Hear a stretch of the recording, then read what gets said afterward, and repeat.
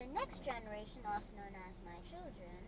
And then I have a room for myself, and then I have an extra room, not for guests, but maybe for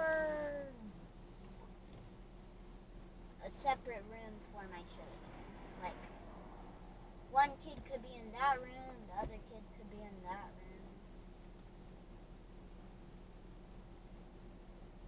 Daddy, Hmm. when I grow up, I want to have whether one or two childs. Two children. Which one do you think? One or two? Well,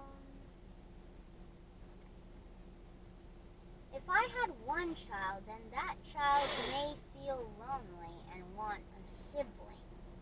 But that child might also be happy that I'm not going to be giving all of my love and affection to the other child. But if I had two kids, they could fight.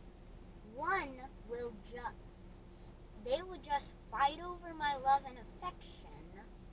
And well, then the good thing would be that they could play with each other. So which one do you think?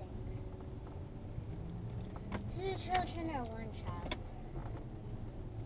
I think maybe one child. Mask it up.